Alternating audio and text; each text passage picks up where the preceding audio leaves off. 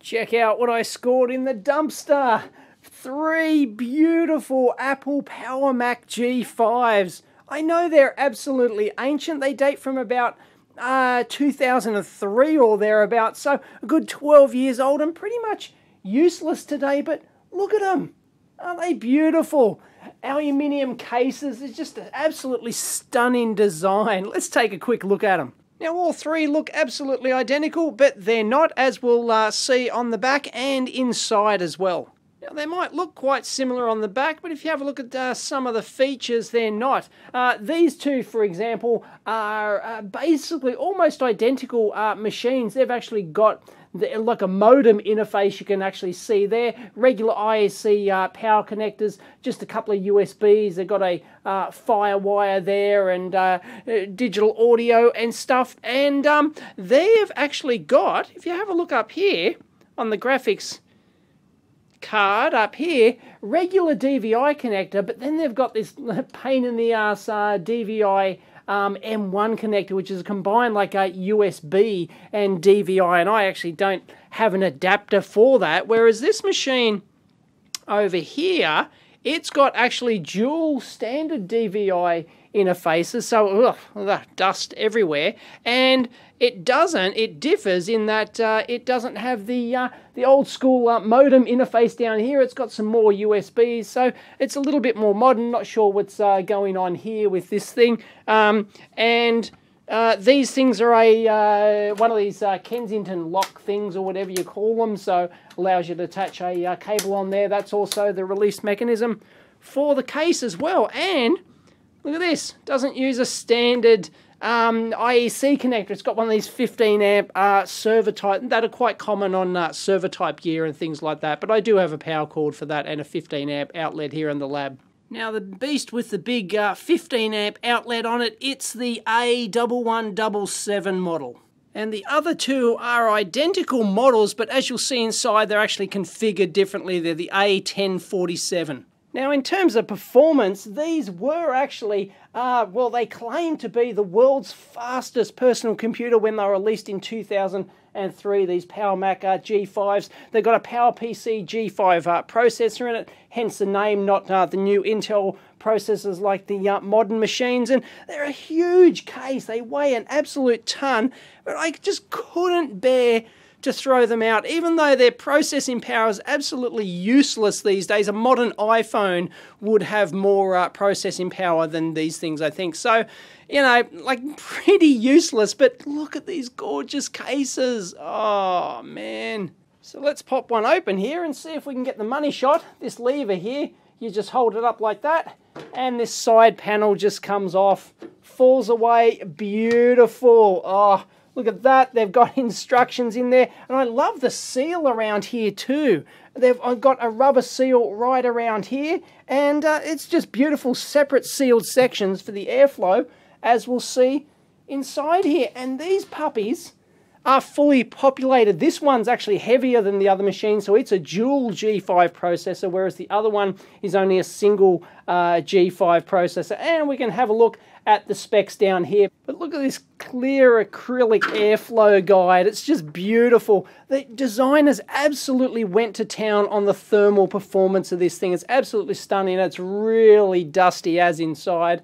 A bit horrible, but uh, yeah, it's just beautiful construction. And you can see like a, a, separate section up here for the hard drives and the um, uh, CD drive up here. And as you can see, completely separate sealed section up here compared to the airflow down here with that uh, air guide we saw before. This is the uh, dual hard drive bay interface. Absolutely surprising that they only allow you dual hard drives in this thing. It's a massive machine. It's just all about the thermal performance of the thing. And uh, but it's not that. Um, I'm I'm not sure how quiet it was when it was brand new, but it's a bit noisy now. So the fans could have uh, seen better days, I guess. And we've got four PCI expansion slots down in there, and this one's, I don't know anything about the uh, graphics cards in Macs. In fact, I don't know much about Apple Macs at all. Never really used one. And that battery doesn't look like it's uh, leaked, so that's a good thing, considering that these things are, you know, 12 years old. Geez, it's, you know, if you're going to use it, you'd be replacing that.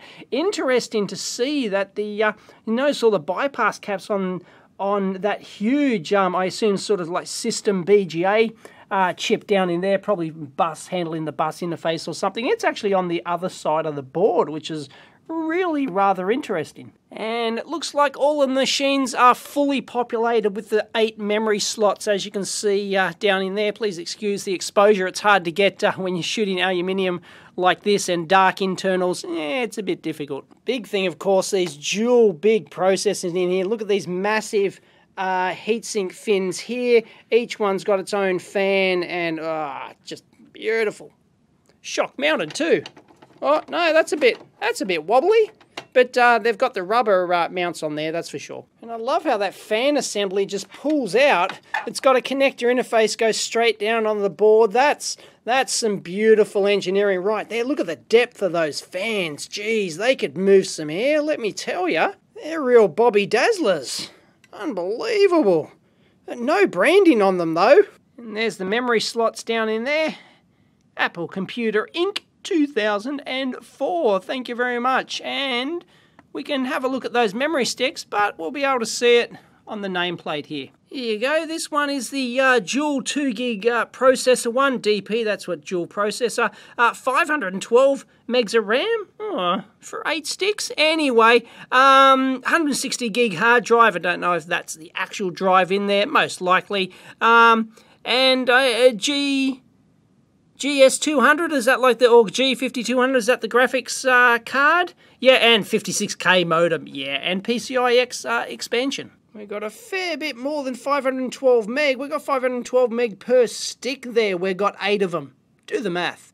And I have no idea how to take this thing apart, so I won't bother taking out the uh, processor there. So I'm not, you know, you'd have to get through to look at just that it is a uh, PowerPC uh, G5 um, yeah, not that exciting. I'm not going to bother. Sorry.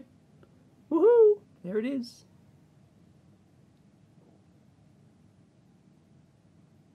Another fan down in there at right angles, is it? That's weird.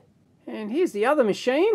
Identical uh, model number, but as you can see, only a single uh, processor. Once again, still got the hard drive installed. I wonder if there's any data still on it or if they wiped it. Um, and a full um, suite of memory once again, but you can see that the uh, extra processor is missing, and you can see the processor board tucked away under there. Now here's the big beast, the 1177. This one's once again a dual 2 gig one um, with 512 meg as it uh, says, 160 hard drive SD, eh, but it looks like it's got a bigger video card in the thing. And physically, it's a bit different inside. There's just one big cover on here now. So that's interesting. That's a difference. Um, the fan looks uh, slightly redesigned. If we take a look down here, much bigger heatsink on the graphics card. So they've obviously, uh, it's got a beefier graphics card and a big ass heatsink down there on uh, some sort of, you know, system um, ASIC, something like that. So the other one didn't have that, so that is quite significantly different. And this puppy has 8 gigs of RAM total. Wow, that would have been something back in the day. You also notice this one has uh, standard PCI um, E, PCI Express, uh, times 16 slots, whereas the other one was uh, PCI X, which is actually different. And if we have a look right down in here, look at this. This is just gorgeous. These giant metal studs coming over and screwed into the board like that. And you can probably maybe see some labeling on there. Is that plus five? Yeah, hard to read on the LCD. Yes, these are coming from the power supply. This is the power supply connectors. That is just an absolutely gorgeous design. Thing of beauty. Joy forever. Ah, oh, my hat's off to whoever designed that. None of this cable rubbish. Just have big metal studs coming out of the power supply, screw straight into the board. Oh yeah, baby. So my hat's off to the Apple hardware designers. They really knew what they were doing with this uh, design. It's just oh, it's brilliant. The effort they've put into for all the uh, thermals and, and stuff like that, and just the, the clear cover to being able to see in there, and the airflow guides and everything, just huge thumbs up. And if you're wondering where the power supply is in this thing, where's Wally? Well, Wally is actually in this space under here. So yeah, I'm not going to take the whole thing apart just to show you a bloody power supply. And even the latching mechanism for the case. See these latches here? Here's the lever over here, and that just moves those three latches back and forth. And with the holes down there, that's just simple, elegant. Love it. And does it work? You bet your ass it works. Ripper! Mac OS X, of course, that's what you got. Um, it doesn't run the modern uh, OSs, so uh, blah, blah, blah, whoever that is. Um, that was their Power Mac. So it's still, they didn't like actually wipe the hard drives. This thing boots. Um, the two uh, smaller models boots, the big one does not seem to, it flashes a few lights and then sort of shuts down. So I'm not sure what's going on in the big one, but the uh, two um, smaller ones certainly work. Ripper! Winner, winner, chicken dinner. Now, I know these things are practically worthless, and I'd probably have a hard time giving them away on uh, eBay or Gumtree. Um, you know, they might, I don't know, if you're lucky, you might get 50 bucks for them, because as computers themselves, like usable uh, computers running an old Mac OS X, it's like, nah, with less power than like a modern iPhone or something, and nobody wants it. So it's useless as I mean, it's basically a huge power hungry doorstop. Um, that's pretty much what it is. But aren't the cases just beautiful? I love the aluminium construction, and I'm sure you can do something really creative with these uh, cases. So that's why I got them. That's why I'm probably going to keep them. Um, they're going straight to the bunker, and maybe I can find a use for uh, these cases. So if you've got any uh, good ideas of what I can uh, convert into these things, please let me know. No, I'm probably not going to. I know you can get like retro kits to fit modern motherboards in and, and stuff like that. I'm not sure I want to do that. Maybe something more creative, but yeah, just couldn't throw them out. It's just beautiful. Catch you next time.